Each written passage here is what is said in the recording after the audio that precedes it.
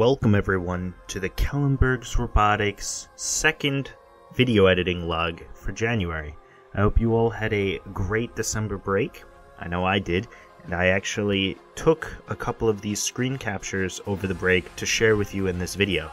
In today's video, we'll be going over a few tips and tricks on how to enhance your video editing skills, uh, some of which we'll be going over speed duration, audio editing, transitions, and much more. I have two clips here that I want to compare. One clip is the Rainbow Six Siege sniper shot that I took with Kali the operator, and another one is me sniping in Borderlands 2, a game I got for free on the Epic Games Store a while back. The eye lets you see different tracks, so the track that is on top will be the first scene, and to unsee it and see the track under it, you just toggle the I already edited the audio to decrease the volume, something that I already taught you in the previous video and I actually added some music from Coconut Mall Mario Kart Wii, but I haven't done anything in terms of editing for the final product. My end goal here is to get a clip of around 10 seconds long comparing the two sniper shots, which one is better, and having some comedic effect with the music and sound effects. So right there I get a headshot, get the kill, and the music doesn't quite line up, but I want the video to match the music because the music is going to be pushing through.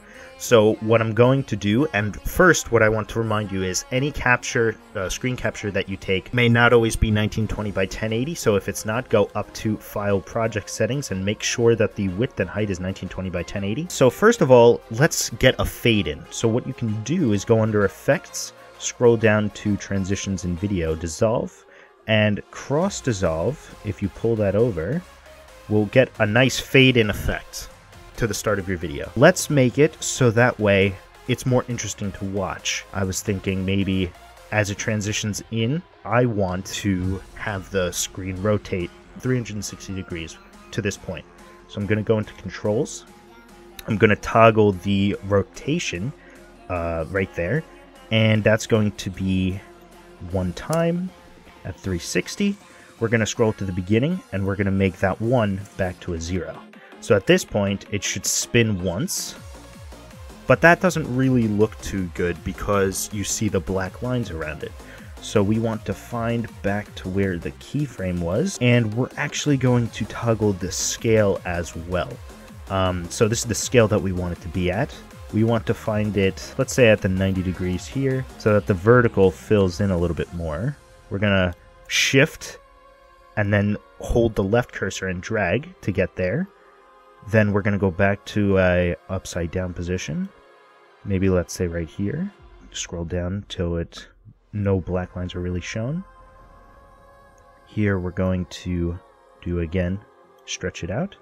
And back to the beginning, we're going to make sure it's transform fit the frame because we want it to be matched. Uh, however, it is still not that clean. Um, so I'll go back and fix that. But for now, we'll stick with that. So now I want to slow down video so that it matches more with the audio. So we're actually going to do a slow zoom effect as she shoots. So right here, I'm going to cut it so that way the transformations are saved with the last clip and we can actually toggle off these so we don't get confused. We're going to turn back on the music audio and we're going to hear and try and match it up.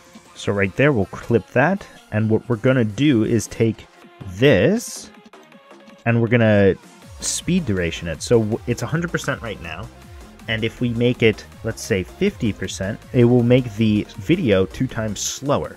And at the end, let's make it seem like if people don't understand what Rainbow Six Siege is all about, and they didn't realize that I got the kill, let's zoom in on the fact that the right top corner specifies that I got a kill on that guy. Let's get the scale to be toggled. But this time we want the position to be not the center anymore, but up here. So we're going to toggle position as well. And what we're going to do is we're going to have a quick position, let's say right here, onto this part of the screen. I'm going to zoom in, drag over. Let's get the whole thing in frame. And that should be good. Let's put this afterwards. And actually, why don't I cross dissolve into this clip. That would be nice. Alright, so that's, you know, uh, pretty slow. Let's uh, make the speed duration 200%. Okay, I'm going to cut it right there. And the audio, because I sped it up, also happened to speed up. So let's unlink this section and delete the audio because it doesn't sound too good.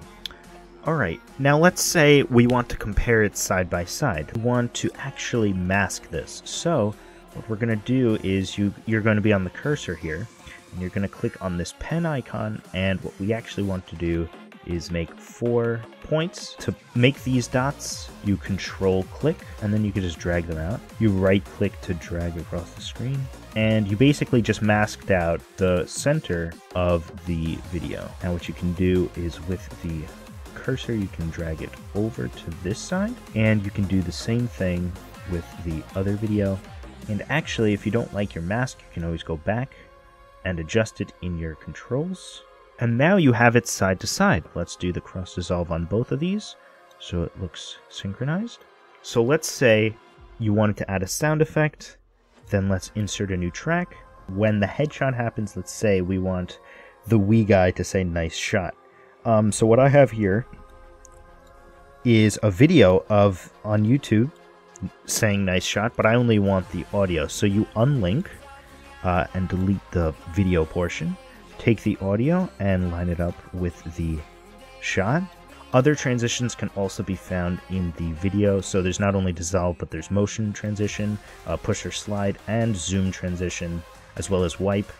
And then, of course, there's audio transition uh, for crossfade and fade. Um, fade is for the end or the beginning, and crossfade is to mix two audio links together to make them sound good. Uh, and maybe we'll come across that in the next video. If you have any questions concerning the editing phase, you can always ask them in the comments or on Discord, and I will be happy to answer them. I hope you all enjoyed. Let me know if you play Rainbow Six Siege or Borderlands 2 down in the comments below, and nice I'll see you all in the next video. Peace.